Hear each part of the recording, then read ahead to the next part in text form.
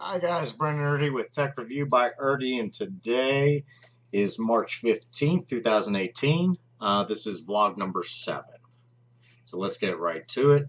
Uh, I wanted to bring up a few topics. Uh, it's been about two weeks since my last vlog. I've been really busy, tied up in a lot of different projects. Um, two of them being our vehicles. Uh, I've had to get some inspections done, so one down, one to go. With that in mind, I've had a problem with a Chrysler issue on my Dodge Charger with the back tail lights.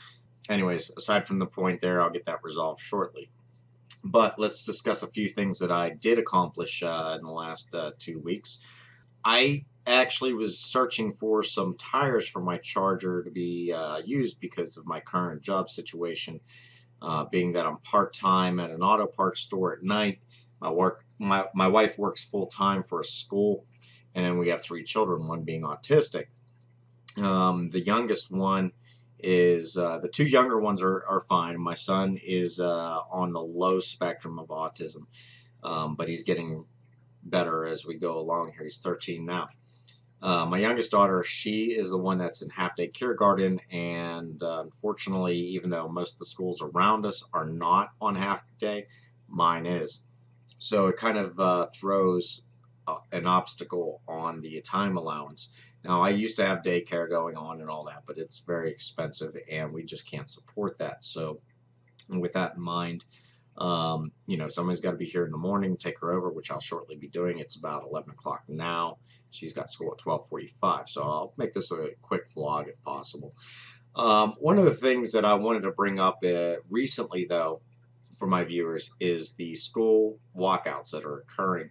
Uh, I don't want to get this politicized so much, but uh, the kids today are kind of skewed on what their view is. They don't have a lot of life experience, so neither be they're being fed a lot of information from the news media, or they're just going after being triggered off the last uh, couple school shootings that are occurring. Now, remember, the school shootings are occurring at a rapid rate, but they're not all defined with the same issues or results that recently occurred in Florida. Um, some of these school shootings have been accidents uh, that have been reported uh, to the school authorities. They haven't been like uh, you know demonstrated the same way as the uh, Sandy Brook issue or the Florida shooting or Columbine.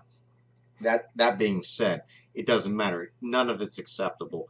Um, and I think a lot of the issues are in today's culture.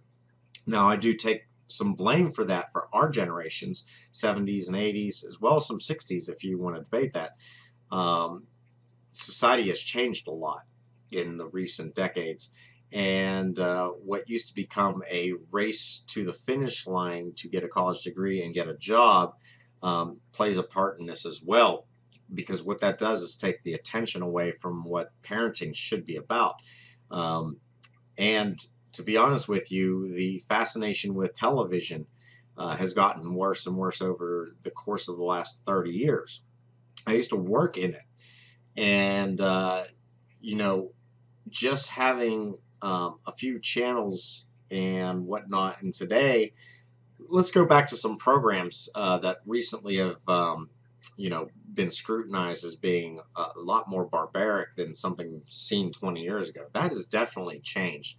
What you see on TV has become more acceptable uh, for today's youth to watch than, say, like 15 years ago. Hell, 10 years ago. The FCC used to actually uh, slap fines on a lot of things, but nowadays a lot of it gets under the radar and it's just out there. Um, I think one of the television shows that actually addressed a lot of these issues are Family Guy, being ironically so that you shouldn't have your kids watching Family Guy.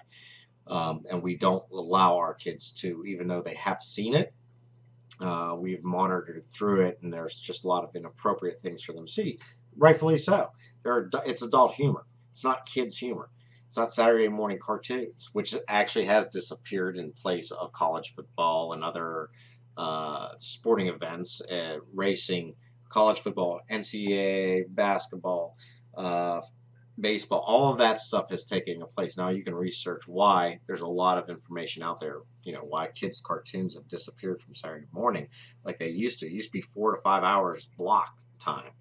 uh, but there's not a lot of advertising into that anymore.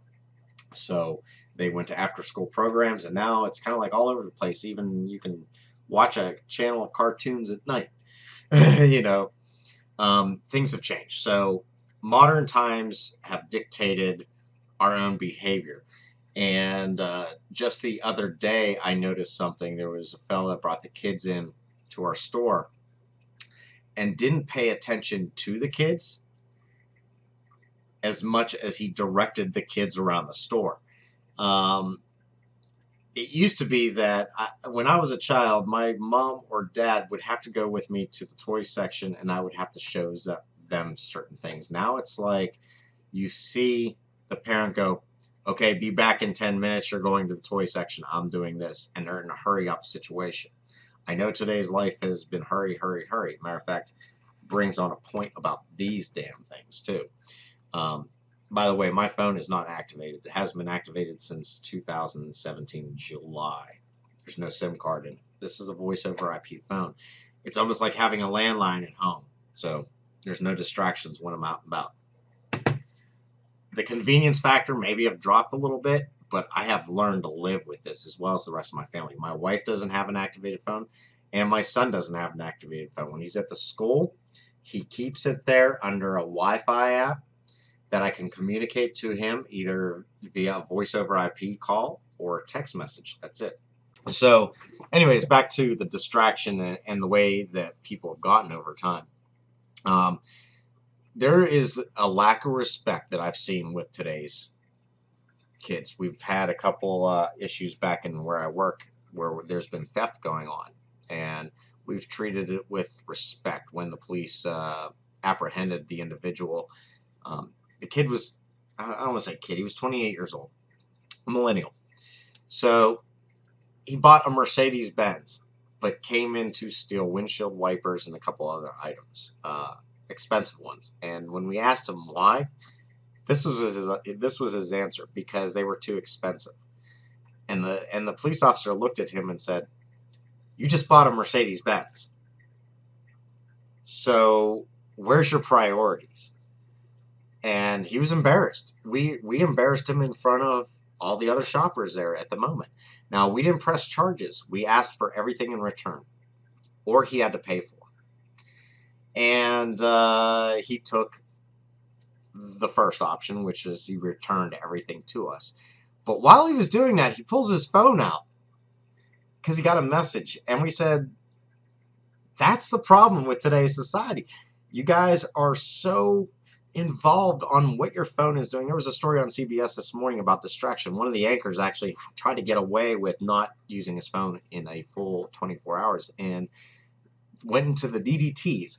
He actually started twitching and all that stuff after a day. It took him about two weeks to get out of that situation, but see, what happens is satisfaction of the me situation occurs with these phones and you get this endorphin rush every time somebody answers you or responds back to a Facebook post or something like that. What if your phone was null and void of all those applications and it was just a phone, maybe just a camera and a phone?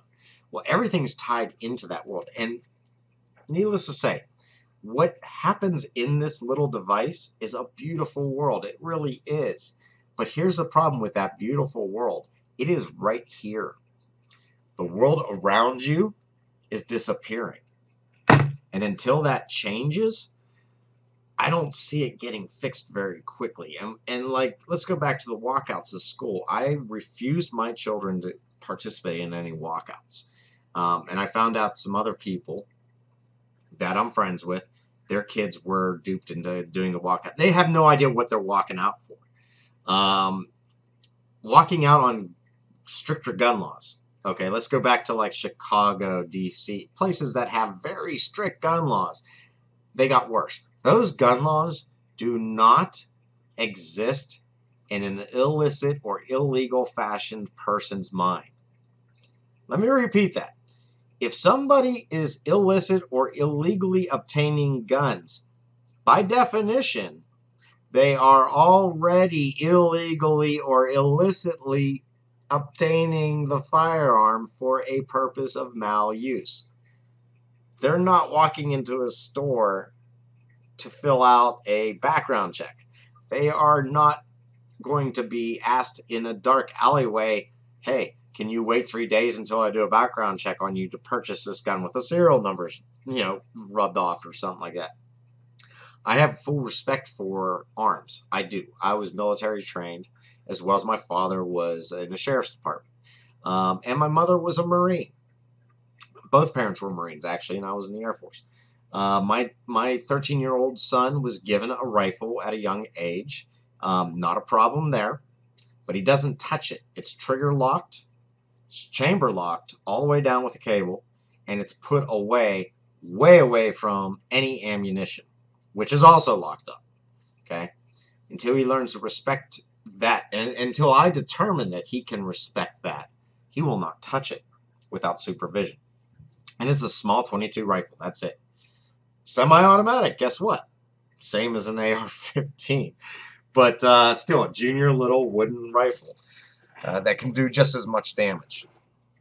Now, the kids today are asking for Congress to do stricter gun laws and all that, and, uh, you know, that really uh, kind of grinds my gears a little bit because of the consideration for the amendment uh, law and the right to bear arms. There's a reason for that, for the intolerance of a totalitarian government or something like that that might occur, but there's also state militias, um, so forth, and the right to protect your personal property, if not your person themselves. Great analogy here. You got a gazelle with antlers. Okay. Do you remove the antlers from the gazelle because the cheetah is constantly going to be hunting the gazelle? No. Otherwise, you will have more cheetahs looking for the gazelle. Obviously, and you pretty much took the only defensive uh, mechanism from the gazelle, besides running. Um, as you can see, that's not the answer. Stricter gun laws aren't going to... there should be gun laws, don't get me wrong, and there are. And currently in place, there's laws against the mentally uh, illness, uh, you know, holding a firearm and stuff. But where due diligence is right. All of that can be tightened up. Okay, as long as the entities holding the information are doing their due diligence on that information and their job. But as we get along in the society starting to break away from attention, that is also starting to fall apart as well.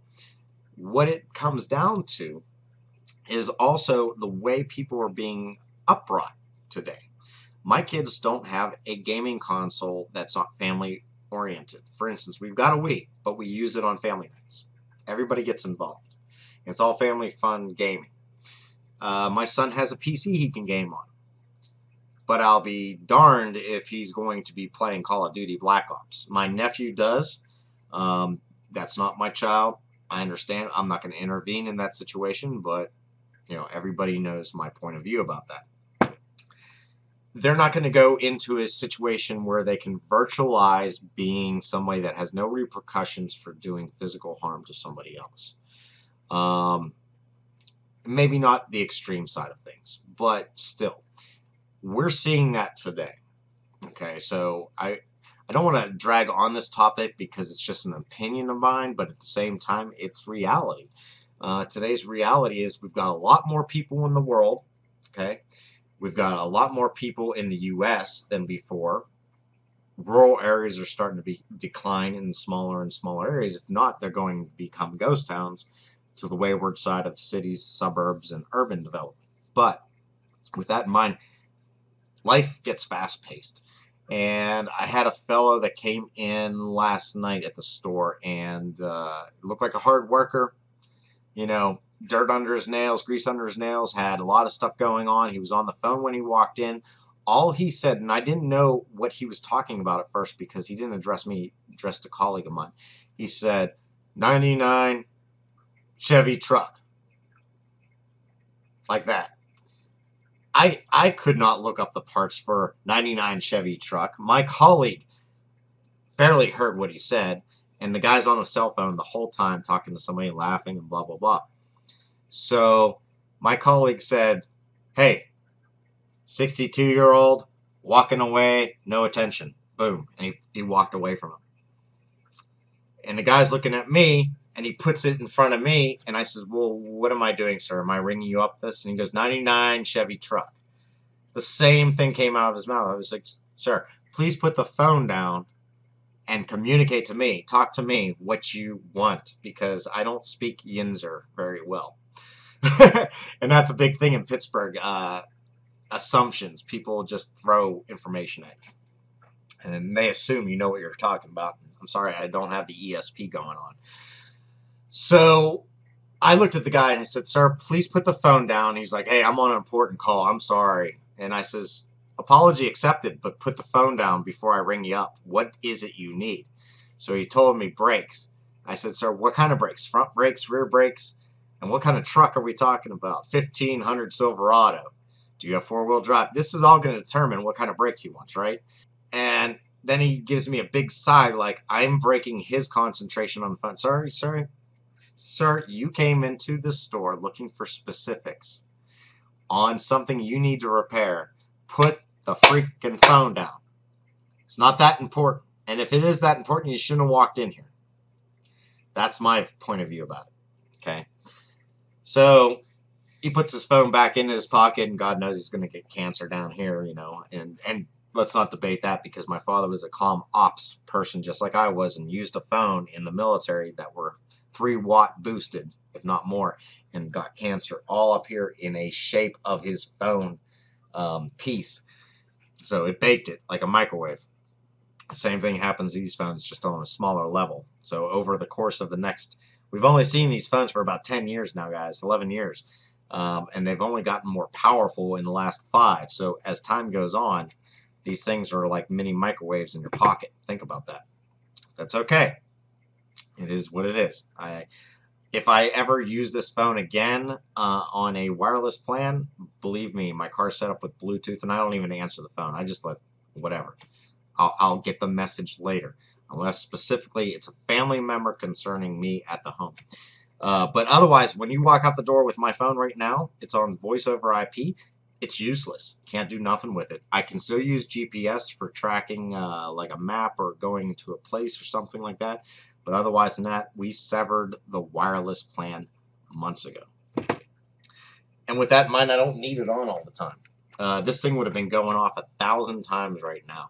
When I, I turned it off last night, got up this morning, turned it on, there was 23 notifications. Scanned through them real quick. Not important, not important, not important, not important. Shoot. There was one important call out of that whole thing, and that was concerning somebody's computer that I'm working Otherwise than that, there was a call a little later I had to take, but uh, I'm just trying for another IT job. So uh, looking for a contract position. You know, today's youth, they're born with these things in their hands, and unfortunately, they're becoming very desensitized to the world around them. So, like I said, as beautiful as that world is inside this thing, you're missing out on everything around you. So uh, preoccupations I wanted to bring up a topic too because I reached out to a fellow this week that were selling some tires and he sold them to me pretty cheap. They're 20 inch rim tires for my Charger.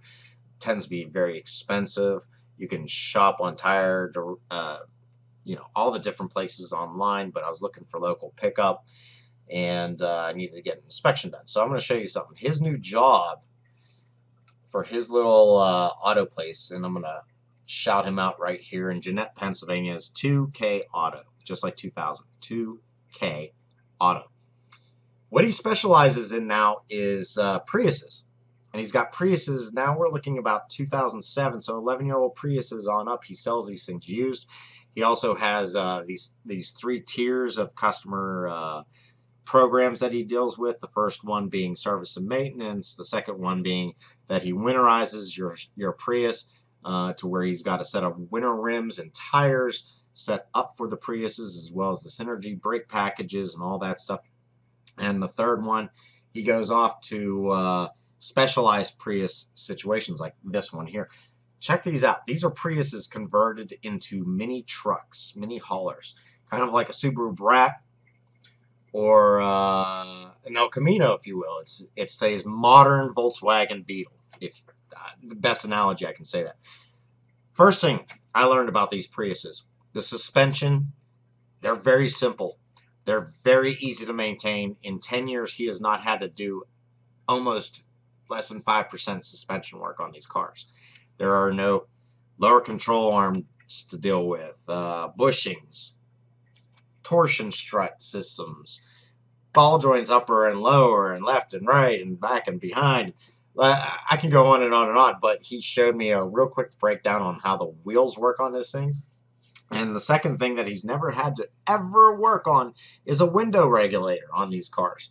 Because that now that that says something for Toyota's quality uh, efficiency on these vehicles. But uh, the one thing that keeps a lot of people from these cars is the expensive batteries. When's the last time you owned a vehicle for more than 10 years? So these batteries are rated for 10 years, right? These huge battery cells of 100 battery packs. There was something really neat that I got to see and uh, let me see if I can shoot that over because uh, he actually individually works on the battery cells um, on these things to where he can replace them for about 240 bucks and they're small packs. Uh, I'll just bring one up. And he has the tools for these things. So this is one right here. He had one out in front of me at the store uh, he uh, owns and he said, for instance, I can replace bad cells if they if they were to drop below 8.5 volts where they're supposed to be, and uh, so many ampage per cell. I can replace a full battery pack for 240, and if you have to do several of them, I have a discounted rate and so forth and so forth.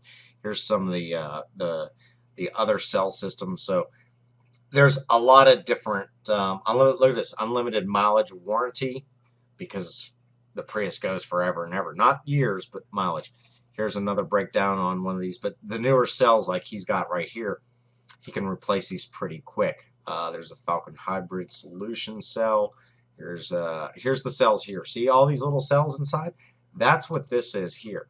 He slides them out. He tests them goes forward and fixes them. This guy's got a whole like setup going on. There's not a niche like that in our area, and he's actually got an edge on competition, if not the dealerships, for doing these replacements.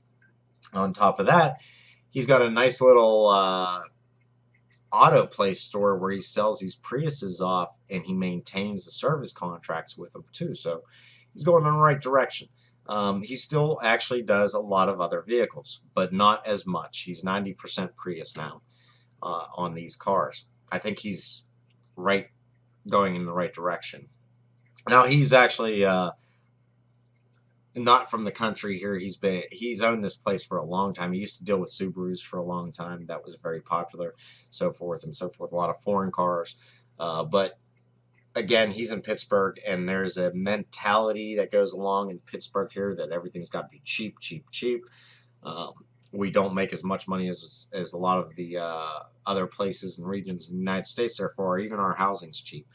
But for a small time business to get this niche, uh, I think that that's really cool. So here, here you go. Look, I was just looking at the walkouts that were occurring. You know, this has occurred over many, many years, many decades. There's been a lot of protests, and I think that's great. They're protesting their rights for what's going on in our society, in our school system but uh, I think they're being manipulated a little bit between the media, if not home life, on what the facts really are. The stricter gun laws, the more strict a gun law becomes, it doesn't make it more difficult per se for somebody that has malintentions to utilize that. If that was the case, there would also be lesser crime rates going on in Chicago, D.C., Los Angeles, for instance, and that's not the case at all. Matter of fact, it's gotten worse. Why? Because you've made it harder for the commoner that has good intentions to retain their right to bear arms. And also, let's look at the type of guns that these people are protesting. Um, you know, back in the 80s, we thought it was kind of neat because Corvettes and Chevettes uh, were two opposite uh, spectrums of the pole. But in reality, with the restrictions of uh, fuel consumption and uh, smog devices and everything else on the car, a Corvette is no faster than a Toyota Corolla today, back from the 80s. Um, but it looks cool.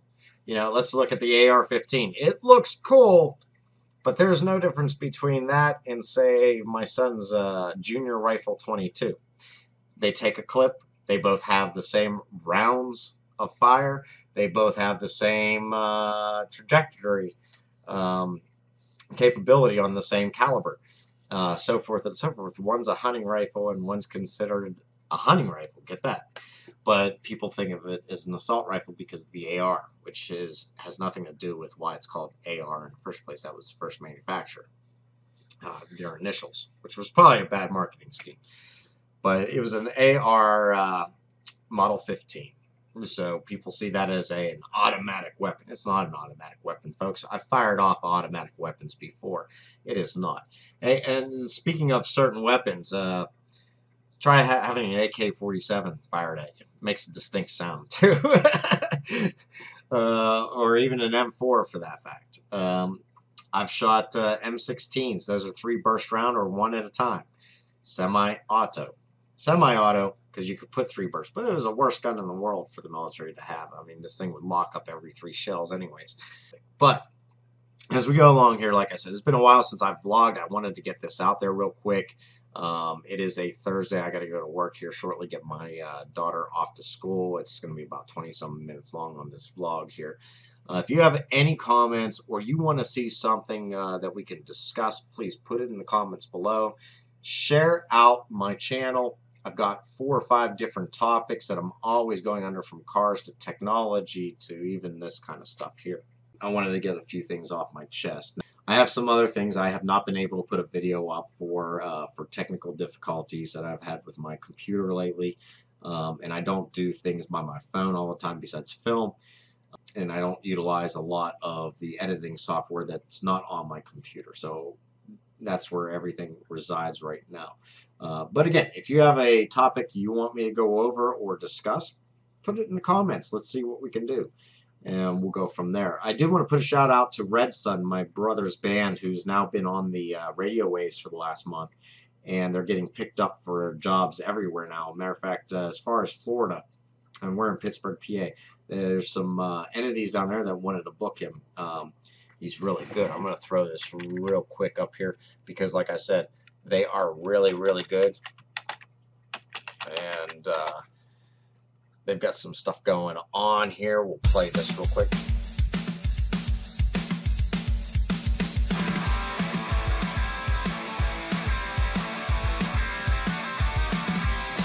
Catch that.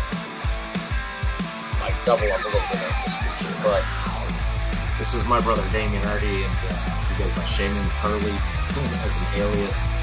But uh, this is their band Red Sun, so look it up on YouTube. It's Red Sun Pittsburgh Band. There's a lot of Red Sun out there, including like the Superman Chronicles and all that stuff.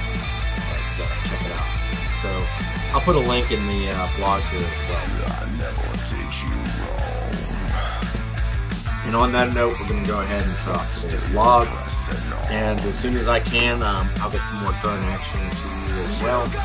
I personally like to use the drones for filming my other stuff. So that's why I don't dive into the drone technology like some of my colleagues out there that uh, drone review all the time. I will review them once in a while, especially good deals that I, I think Five Below right now has a great little $5 drone for inside uh, the house. But that's why you don't see drones on my channel all the time. I like to utilize the big ones for uh, videography, and stuff like that. Uh, but uh, for the small stuff, if I find a good deal, yeah, I'll bring it out my kids are, are doing. We have a Raptor, I believe, uh, that we're going to bring back uh, from the dead. Um, we're going to post that up as well as. Uh, uh, anyways, we'll get to that point, and uh, a local friend of mine also bought a uh, Sharper Image. I think a the X4 or 5 we're going to check that out as well, see what This has been another video vlog from Tech Review by Irdi. Please subscribe, share, and give me a thumbs up if you like the video. And we'll see you later. And I'll leave you on this.